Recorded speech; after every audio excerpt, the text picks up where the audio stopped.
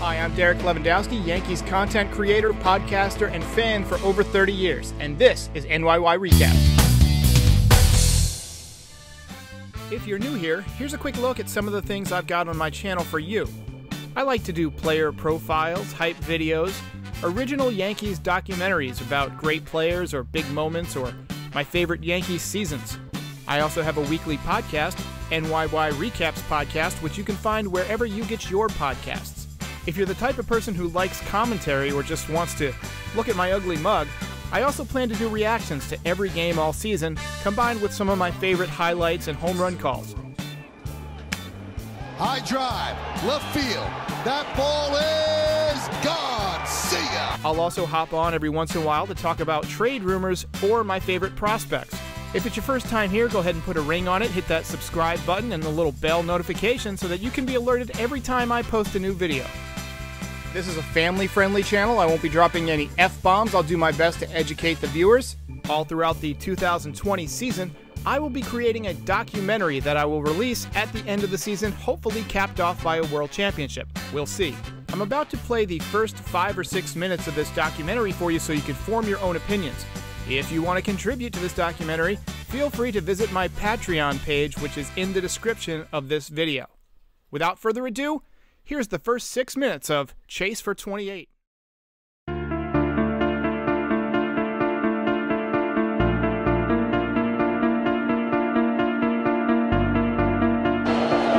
1. That's a base hit. And the Yankees have life. On base for the fourth time tonight is Urshela.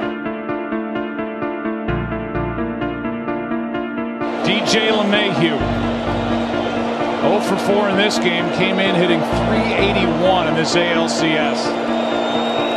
Over the first five. It's outside ball one. All he's done in a Yankee uniform is hit.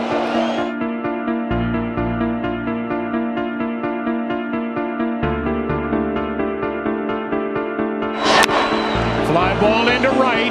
Back at the wall. This ball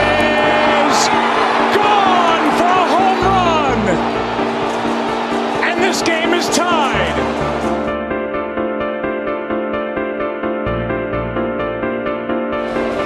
Bottom of the ninth inning, and Aroldis Chapman is into the ball game.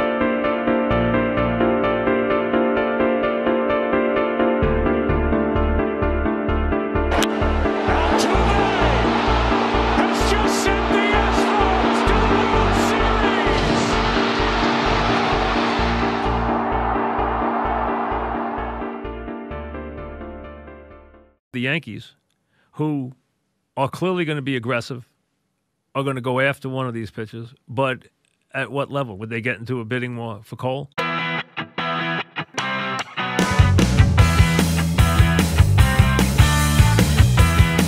California team. He's a California kid.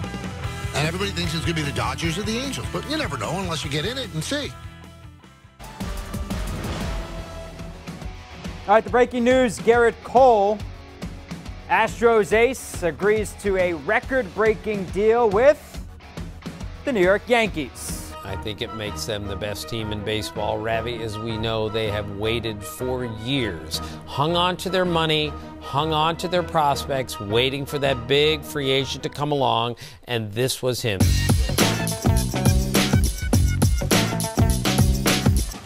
I'm here. I've always been here. so great. You kept it. I did.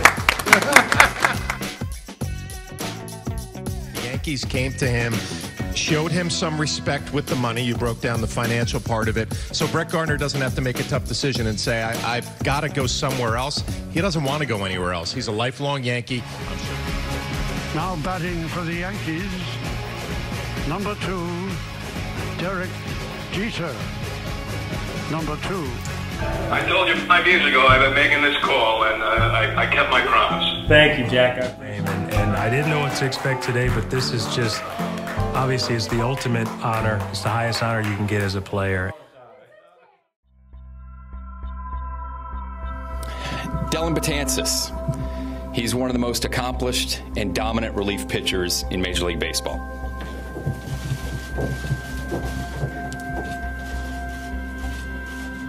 The Major League Baseball cheating scandal sending shockwaves around the world. The owner of the Houston Astros fired the team's general manager and manager after an investigation found that the Astros cheated by stealing signs during their World Series championship season. We've heard reports about Astros players wearing buzzers underneath their uniforms. That's how they're getting the signal what pitch is coming. I know the commissioner's office looked into this and they determined there was nothing to it. Can you assure us there were no buzzers or anything like that being Well, the commissioner, we got investigated for three months, and the commissioner's office did as thorough an investigation as anyone could imagine was possible. I mean, I know he mentioned uh, the emails and the texts and the messages, um, and I believe them. Sorry, that's not good enough. There's one answer to that. We never use buzzers, ever. Did you use buzzers or not?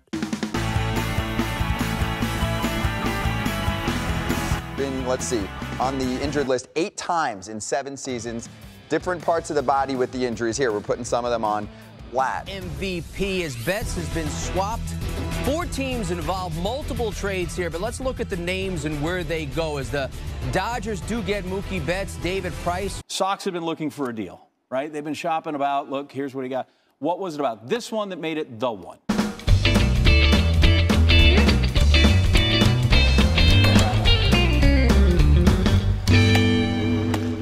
The sights and sounds every Yankee fan has been waiting to see and hear.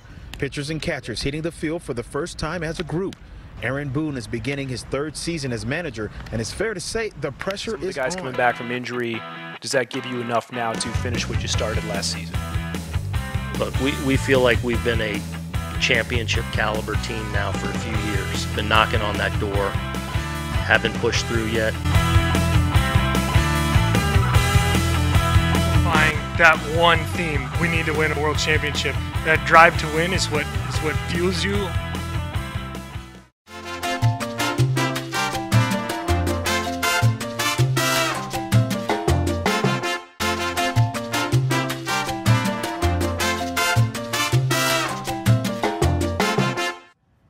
A really good team, and we're seeing that develop. And I think if you're the Yankees, yes, you're out there trying to make sure this team is ready, all the talent is in place, but you just have to let this team be. This team is going to be really.